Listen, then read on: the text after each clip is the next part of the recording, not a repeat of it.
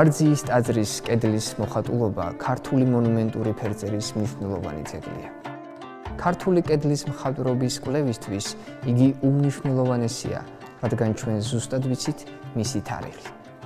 ვარძიის მონასტრის ტაძარი და სტოა მოიხატა 1085 წელს ქართლის ერისთავის რატის ურამელის ინიციატივითა და სახსრებით.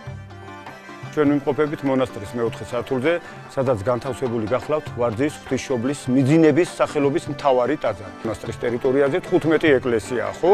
ყველა კლდეშია გამოკვეთილი. აქედან სწორედ ეს მთავარი ცენტრალური ტაძარი და ანანაურის ეკლესია, რომელიც დასავლეთ ნაწილში შემოგვჭა და სამწუხარო ჩვენ იქ ვერ შევედით, იმიტომ რომ კარი დაკეტილია, რადგანაც ფრესკები ძალიან არის დაზიანებული. პატარა ზომის სამლოცველოებია, რომლებიც სავარაუდოდ ბერებს თვითონ საძინებლებთან ახლოს ქონიათ მოწყობილი. ამიტომ ამ პატარა ზომის სალოცავ თავში ნაკლებად შეინიშნება მხატვრობის კვალი. ამ ურტაძარში კი როგორც ვხედავ და უფრო კარგად გავიგებთ, უნიკალურად არის კარგად არის შემონახული კედლის მხატვრობა. ერისთავთ ერისთავმა რატის ურამელმა მოიწვია ნიჭიერი მხატვარი გიორგი ფერმწერთა ჯგუფით. გიორგის სახელი ფარულადაა ჩაწერილი საკურთხევლის კონქის მხატვრულ ორნამენტებში. ღვთისმშობლის გამოსახულების ქვემოთ. ტაძრის კამარა ფართო ორნამენტული ზოლით ორ თანაბარ ნაწილადაა გაყოფილი. აქ მოთავსებულია 4 კომპოზიცია. შობა, ფერის ცვალება, ლაზარეს აღდგინება. კედლებზე მხატვრობა მოცემულია ორ რეგისტრად. ჩრდილოეთის კედელზე წარმოდგენილია 4 სცენა. სამხრეთზე 3 სცენაა: იერუსალიმში შესვლა, ჯვარცმა და ჯოჯოხეთის წარდგმევნა. ჩრდილოეთის კედელზე წარმოდგენილია 4 სცენა: საიდუმლო სერობა, ფერხთა ბანა და ქტიტორთა კომპოზიციები: რატის ურამელი, გიორგი მესამე და თამარი. ხოლო დასავლეთზე ხუთი სცენაა: მირქმა, ნათლისღება, ამაღლება, სულიწმინდას მოფენა და ღვთისმშობლის მიძინება. გიორგი მხატვარმა მთავარი ყურადღება საკურთხევლის კონქის მოხატულობას დაუთმო. ცენტრში ღვთისმშობლის დიდი ფიგურაა ყრმითურთ. მის ორივე მხარეს დგანან მთავარანგელოზები: მიქაელი და გაბრიელი. გიორგი მხატვარმა კომპოზიციები შეასრულა დიდი ხელოვნებით. მაგალითად, ამაღლების კომპოზიციაში ღვთისმშობლის და ანგელოზების ფიგურები გრაციული და ბუნებრივია.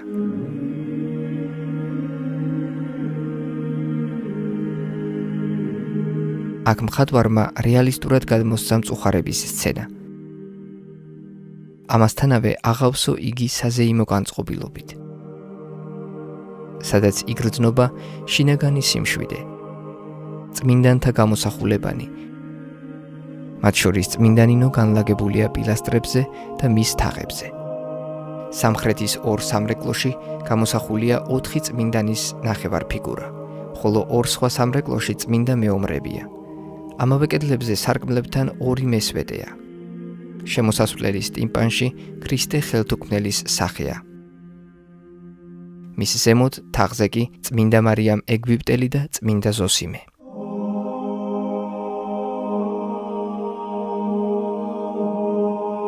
ეს უნიკალური ტაძარი დგას. ტაძრის ადგილზე იყო დიდი ზომის გამოქვაბულები, ოთახები გამოკვეთილი.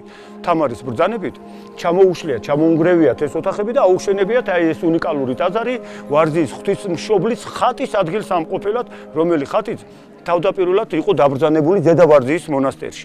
მას შემდეგ, როდესაც დაუსრულებია ტაძრის მშენებლობა, მოუხატავდა უკურთხებიათ ეს ტაძარი ხატი ღვთისმშობლისა, ჩამოუბრძანებიათ და დაუბრძანებიათ ტაძრის ცენტრალურ ნაწილში. აი ეს ფრესკები სამხრეთ კედელზე.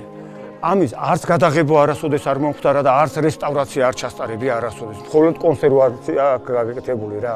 ძალიან კარგად არის შემონახული მხატვრობა. როცა შახტამაზი შემოვიდა რა, მან გაძარცვა გადაწვა და წავიდა. აი ამ ხანძრის შედეგად ეს მური ჭვარტლად ქცეული თლიანად გადაეკრო და დამალა ფრესკები. როგორც ტაძარში, ასევე ამ სამხრეთ სტოაში. თვით კონსერვაცია მოხდა, ბუნებრივად მოხდა. მე საბჭოთა პერიოდში, როცა გაწმინდეს და განთავისუფლეს, აი ასეთი იერსახე გამოაჩინა. ეს ბუნებრივი საღებავი, ანუ ქვა არის, ბუნებრივი ქვა, რომელიც საქართველოს არ მოიპოვებოდა და ამიტომ თავარ მეფე ოქროზე ყიდულობდა ამას ავღანეთში. და იქიდან ჩამოხონდათ რა ეს ფერადი ქვა, ეს ლაზურიტი რა. გიორგი ჭარმა, ხატვარმა კრიტორთა გამოსახულებისთვის სპეციალურად საპატიო ადგილი შეარჩია. დასავლეთ კედლის ორი დიდი თაღოვანი ნიშა. მან გაითვალისწინა ტაძრის საერთო განათება. სარკმლიდან შემოსული შუქი სწორედ დასავლეთ კედლის პორტრეტებს ეცემა ყველაზე კარგად.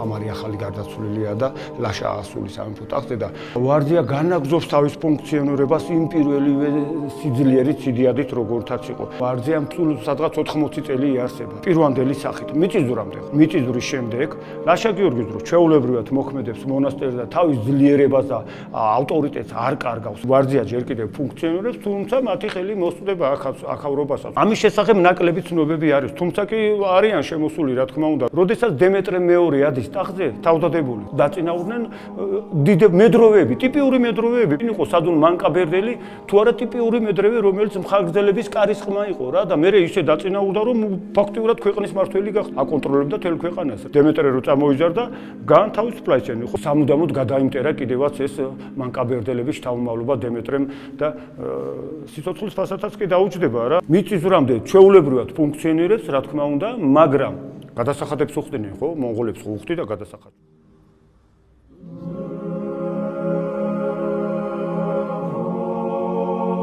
სტოას ჩრდილოეთ კედლის მთელი ფართობი და დასავლეთ კედლის ნაწილი უკავია დღე-განკითხვის მონუმენტურ კომპოზიციას.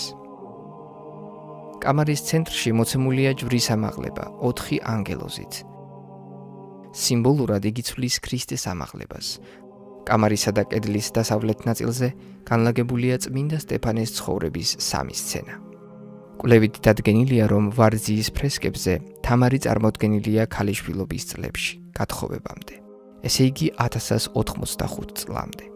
გიორგი მეფე კი დახატულია მისი გარდაცვალების 1084 წლის შემდეგ. ამის მიხედვით შეგვიძლია დავადგინოთ ამ მოხატულობის შესრულების ფარგლებში 1184-1185 წლები. მონასტერში დაცული იყო ვარძიის ყოვლადწმინდა ღვთისმშობლის სასწაულმოქმედი ხატი. ბასიანის ბრძოლის წინ მეფე თამარი ვარძიის ღვთისმშობელს ავედრებდა თავის ქვეყანას და მუხმუდრეკილი ევედრებოდა ქართველთა გამარჯვებას. ყოვლადწმინდა ღვთისმშობლის შემწევნობით ამ ომში ქართველებმა გაიმარჯვეს. თამარ მეფის დროს ვარჯის მონასტერი იყო ძალიან მდიდარია. თვითონ თამარ მეფე განსაკუთრებულად ზრუნავდა ვარჯის მონასტერსა და აი თავარ ტაძარზე და ღვთისმშობლის ხაზზე, თქო, ხო, ვარჯის ღვთისმშობლის ხაზზე, რომელსაც როგორ თქვით, მიიჩნევდა სასწაულმოქმედად და მტერზე გამარჯვებლად. ჰასანბეგი აღწერს, რომ შახთამას, ანუ სპარსელებსაო დიდათ აინტერესებდათ ასევე და გაგონილი ქონიათ ინფორმაცია ქონიათ იმის თაობაზე რომ ვარძია ყოფილა ძალიან მდიდარი და თურმე დიდი ოქრო ვერცხლი და სიმდიდრე ძურფასეულობა საგანძური ინახებოდა ვარძის მონასტერში და ერთი სული ქონია როგორმე აეღო რა. და აი ხელსაყრელი მომენტიც გაუჩნდა კიდევაც. რომელიც მე-16 საუკუნეში იყო სამცხის ათაბაგი მის მოღალატეობრივ საქმიანობაზე რა თქმა უნდა ინფორმაცია არის კიდევაც მოთხრობილი. მონღოლებიდან რო დავიწყო ჩვენ 1266 წელს მონღოლ სამცხე ჩამოშორდა ერთიან საქართველოს და იგი გამოცხადა მონღოლთა ხასინჯუთ რა სახასე. ისეთი ურჩი დაუმორჩილებელი იყო ეს ათაბაგი ხო кайხოსრო რომ არ ემორჩილებოდა ლუარსაბს. ლუარსაბი გადაწყვიტავს რომ დასასჯოს ურჩი ქვეშევდომი რა. აი ამის სანაცვლოდ ადგება кайხოსრო გაიქცევა ირანში რა შახთამაზის კარზე მუხზე და დაეცემა და დაუწყებს ხე მოკლედ ხვეწნა ვედრებას რომ არ იქნა როგორმე დამეხმარეო რა ლუარსაბის წინააღმდეგო და შახტამაზით დიდი სიხარულით შემოუძღო რა თქმა უნდა თავის ჯარს რომელსაც წინ უძღო და кайხოსრო და აი ასეთნაირად შემოვიდნენ და აიღეს რა თქმა უნდა ვარძია. ეს უკვე ხდება მიწისძვრის შემდეგა რა. თორე რომ არა მიწისძვრა ეს რა თქმა უნდა ვერავინ ვერ შეძლებდა იმ იმ დროს ვარძიის აღებას და გაძარცვა.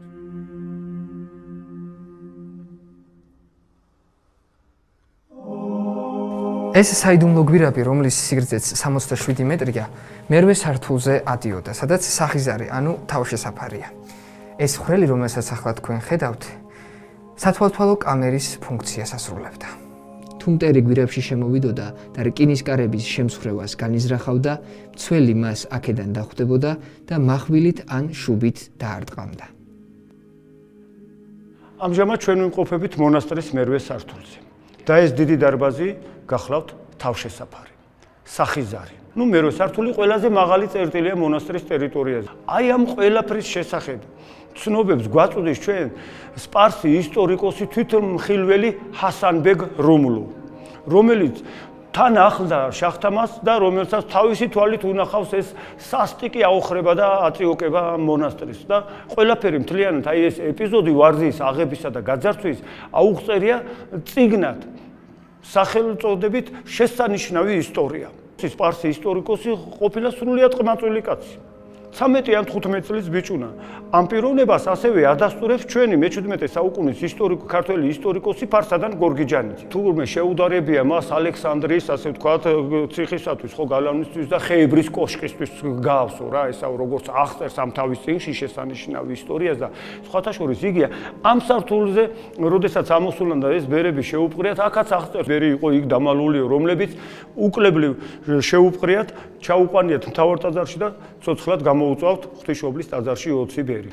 იგი წერს რომ, როდესაც ჩვენ ტაძარში შევედითო, დავინახეთ რომ ტაძარში იქ სადაც ჩრდილოეთის კედელზე გამოსახული არის თამარ მეფისა და მისი მამის პორტრეტები, გიორგი მესამის. მეფეთა ფეხქვეშ, ანუ პორტრეტების ფეხქვეშ იდგა ერთი დიდი ოქროს ტახტიო, რა, ნუ ახლობით 2 მეტრაზე მეტია რა ეს მანძილი რა, ანუ ოქროს ტახტი მდგარა მეფეთა პორტრეტების ქვეშ, სიმბოლურად, როგორც გვირგვინოსნები ალბათ, ხო? ასევე მთავარი ხატი ღვთისმშობლის და ოქროს ჩარჩოთი იდგა ცენტრალურ ნაწილში ტაძრისა. ეს ყველაფერი გაუტანიათ. ამავდროულად ასამბეგი გვაწვდის ინფორმაციას, რომ ტაძარში 4-ვე კუთხეში იდგა ვერცხლის სასანთლეები. სანთლები თურთ, რომელთაგან თითოეული სანთელი იწონიდა 180 კილოგრამს. გაუძარცვავთ ტაძარი ასევე გადაუწვავთ რა თქმა უნდა სანთლები სასანთლების წაღების მიზნით რიცგანაც ძალიან არის დაზიანებული ტაძარში ფრესკები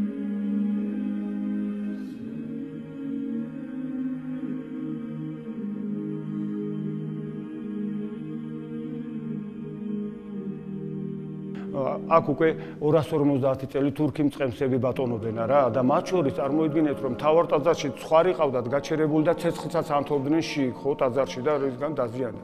კიდევ ერთი საინტერესო ფაქტია იცი რომ აი როდესაც ეს გიორგი პოპონდოპულო მოსულა ხო ბერძენიბერია რა რომელმაც 1857 წლიდან კვლავ დაიწყო სამონასტრო ცხოვრება ხო თურმე ეს ბერი შეეცადა რომ ტაძარში არსებული ფრესკები მურისა და ჭვარტლისაგან ჩამოეწმინდა. მაგრამ ჩანს რომ ეს კაცი ამ საქმის არამწოდნი არასპეციალისტი ყოფილა და მას პირიქით უხეშად მოსულია ეს ყველაფერი და უფრო დაუზიანებია რა ფრესკები. თუ დავაკვირდები ჩვენ ტაძარში ქვედა იარუსი აბსოლუტურად ფრესკის გარეშეა ჩამოხეხილია ეს კაცი მიხვდა თავის ამ შეცდომას და აღარ შეეხო თამრმეფის ფრესკას. ეს ერთადერთი პორტრეტია რა თამარის სადაც იგი მოხატულია სიცოცხლეში და გათხოვებამდე. ნუ სხვა დანარჩენი პორტრეტები ეს არის რა თქმა უნდა ბეთერნიაში ბერთუბანსა და ყინწვიში თამარი აქ უკვე გათხოვ გათხოვილი ქალია ამ დროს არის მოხატული, იმიტომ რომ ტრადიციულად საქართველოსში გათხოვილი ქალები ატარებდნენ მანდილს, რომელიც აი ჩვენ ვიცით თამარის პორტრეტიც ნიკაპის ქვეშ აქვს საყბეური ამოტარებული და უკან გადატარებული. მეორე აქ ამ პორტრეტზე თამარი მანდილის გარეშე, ესე გასათხოვარია ჯერ კიდევ არა? ეს გახლავთ სათათბირო დარბაზი, საბჭო, სადაც მონასტრის საძმო და წინამძღვრები განიხილავდნენ ქვეყნის საჭირბოროტო საკითხებს. ვარძიის მონასტრის სასულიერო პირები აქტიურად იყვნენ ჩართული ქვეყნის პოლიტიკურ საქმიანობაშიც. 1158 წელს სამცხე თურქეთმა დაიპყრო. თავისი მართლობა დაამყარა და მართლმადიდებლური ეკლესიები მეტად შეავიწროვა. ვარძიაში მონასტრის გაუქმებამ შემდეგ მისი როგორც ისტორიული ძეგლის განადგურება გამოიწვია. რუსეთ-თურქეთის 1828-39 წლების ომის შემდეგ მესხეთის ნაწილი ვარძიით თურთ კვლავ საქართველოს შემოუერთდა. მაგრამ ვარძია ისევ უყურადღებოდ რჩებოდა. ბერძენმა მღვდელმა გიორგი პონდოპულომ დაიწყო ტაძრის გაწმენდა. ტაძარში მისასვლელი გზა შეაკეთა. ხის უბრალო კანკელი გააკეთა და ვარძია 1857 წელს ხელახლა აკურთხეს. დაუდგინეს მოძღვარი ორი მორჩილით. საქართველოს საბჭოთა ხელისუფლების დამყარების შემდეგ ვარძიის სამონასტრო კომპლექსში წირვალოცვა კვლავ შეწყდა. იქ ჯერ ტურისტული ბაზა 1938 წელს კი მუზეუმი დაარსდა. 1999 წლიდან სრულიად საქართველოს კათოლიკოს პატრიარქის უწმინდესისა და უნეტარესის ილია მეორის ლოცვა კურთხევით ვარძიის კლდეში კვლავ გაისმის გალობანი ვარძიის საღვთისმშობლისანი.